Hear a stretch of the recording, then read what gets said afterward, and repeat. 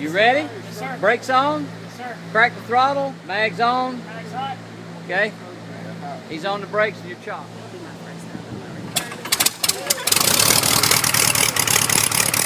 This is our heater and air conditioner trainer. It allows us to train on the whole system that's in the aircraft on one board rather than have to have them run all over the aircraft trying to find different components. They get to see everything on one place. Then we take them to the aircraft and then troubleshoot on the aircraft. our ice and rain protection systems training. The nice part about this is it gives a sample of everything that's on the aircraft as far as uh, rain protection or ice or de-ice protection. This is our uh, anti-skid brake system trainer. And what it allows us to do is allow, you, you couldn't do this on the real aircraft uh, without taxing the aircraft. So this way we're able to run the wheel like the aircraft was taxing, even to the point where if it were in the air, what it would do, and then when we were at a land, it shows what it would do.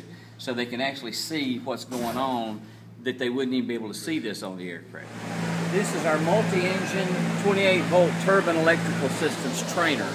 And what it allows us to do is it allows us to show the students what the electrical system looks like as a whole. Starter generators are used to start the engines, and then once they start the engines, they're used to generate the power for the engines, for the aircraft, and to charge the battery. So we've got a sampling of everything here, is, is even the navigational lights. One on each wing and one on the tail. We can actually show them, okay, this is how the lights work. We've got a simulated uh, radio master that would be turning on all your radios. We have students that are really interested in mechanical things come in. But one of the questions that, that I asked as a supervisor when I was interviewing somebody is, were you interested in mechanical things growing up? Did you tinker with things? Did you take things apart?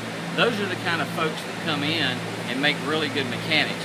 Once you teach them the correct way of doing it on the aircraft, in accordance with the FAA regulations and the, air, and the aircraft manufacturer regulations, then they make great mechanics. You just have to learn that there's a difference between a go-kart that they used to work on as a kid and the aircraft, sophisticated aircraft they work on now.